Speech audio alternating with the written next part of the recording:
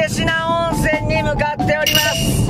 えー、前回の動画は概要欄 URL よりご覧いただけたら幸いでございます。山梨県に全泊して今から立科初めてなんですよね。まああの長野県にもね素敵な温泉たくさんあるんですけれども渋温泉とか行ってみたいんですけど遠くてねなんせ、えー、山梨県に近い立科温泉という場所を選んでみました。そして、えー、評価がすごくいい。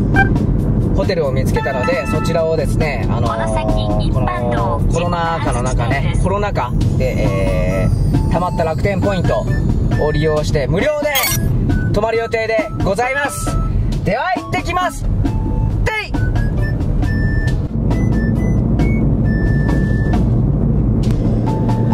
あのー、ホテルに行く前にですね一応立科温泉境っていうんですかね、あのー、観光しようかなと思ってるんですけど、三社会家だっけな、三社会家っていうところと立立科湖には行こうかなというふうに思ってるんですけれども、なんかね、1時間半から2時間ぐらいかかるみたいなんですよね、結構遠くて、で時間ももう1時近いんで、どうなんだろう、まあ、観光はしたいところですよね。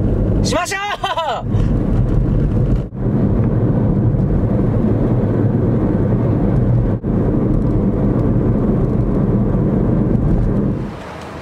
の駅白州さんに来ました。ここで簡単にお昼ご飯を食べようと思います。いいですね。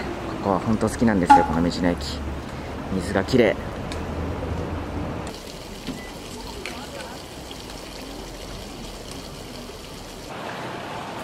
いなぜここに喫煙所を作ったんだ？これは不思議だわ。ここ以外あったでしょこれ。道の駅が混みすぎてまして、レストラン入れなかったので、えお弁当コーナーで巻き寿司セットを買いました。こういうのもね、また楽しいですから。あー、ドライブ楽しいよ旅行楽しいよ道の駅でね、ゆっくり過ぎてしまいましたよ。また楽しみすぎました。もう時間がどんどん過ぎてる。ドライブ楽しい。えー、残り30分くらいで、えー、1つ目の目的地ですね、三社会計着きますんで、そこまではノンストップで行きます。だいぶ標高が高いところを走っております。気持ちいいですね、雰囲気も違う。あ、これ待って、空気美味しいんじゃない？空気窓開けます。空気うまえ？空気美味しい、持って帰り。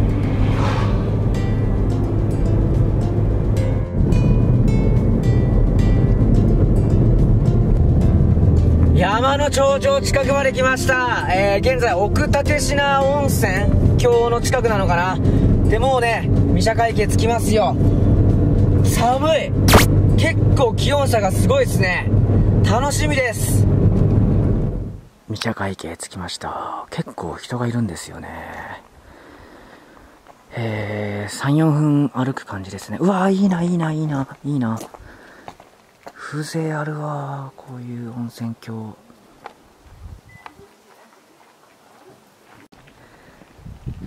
ここの駐車場に5台ぐらいね車が止まってるんですけどあの私の車が着いた瞬間に一気に5台ぐらい集まってきて、えー、団体全員が同時ぐらいにこの池を目指すというね旅あるあるですね。きました。もう少し近くに近づきますかね。前はなんかねこれ道があるんですけどこの池のほとりまでね行けたらしいですよ。これは行きたいね。行きたいですよね。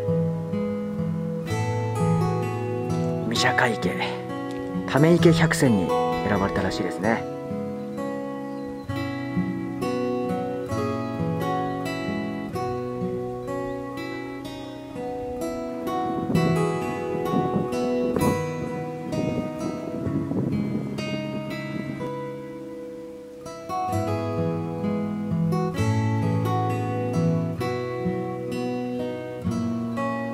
ここの角度は綺麗ですね。本当はもうちょい水が綺麗なのかな？これは映像からは伝わらないでしょうけどだいぶ綺麗です。わかるかな、まあ、ただあのもしこの池がね途中にあっても三社会家っていう有名な場所だって知らなかったら完全スルーしてますねこれは。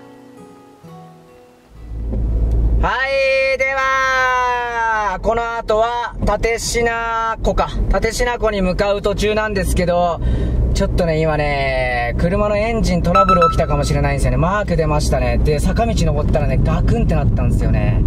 けど今消えたんですよ。なのでルート変更して、今下りながら、ちょっと開けたとこに向かおうかなと。で、一回、車の様子見ますわ。やべえ、怖い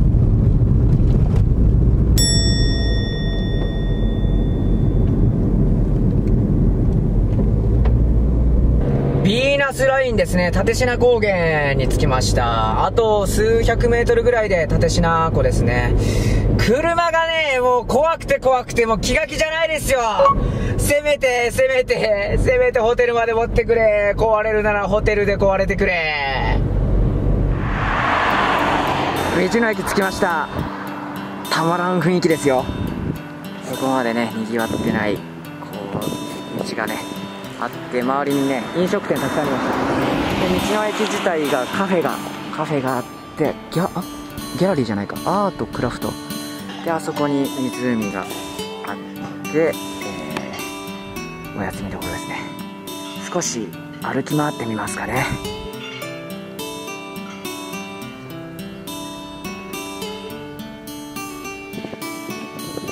のどか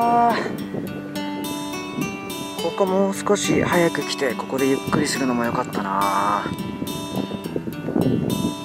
いやー いい。観光地来た感じする。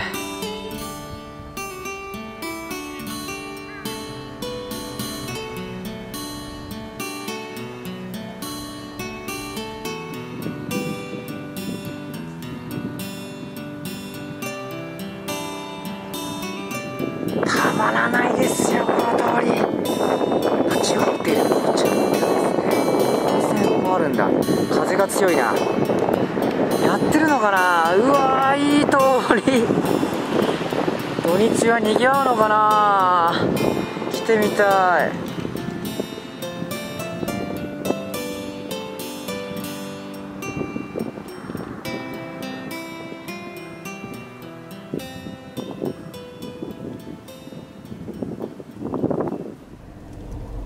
では、えー、ホテルに向かいます。もうね、チェックイン時間も過ぎていて、入れるので、まあ、あの、車もね、気になるところはあるんですが、とりあえず入りますか。えー、結構長かったよな。ここまでで動画結構長いと思うので、ホテル編はまた、次回に分けて、えー、お送りいたします。そちらは概要欄 URL よりご覧くださいませ。ではまた後編でお会いしましょうバイバイ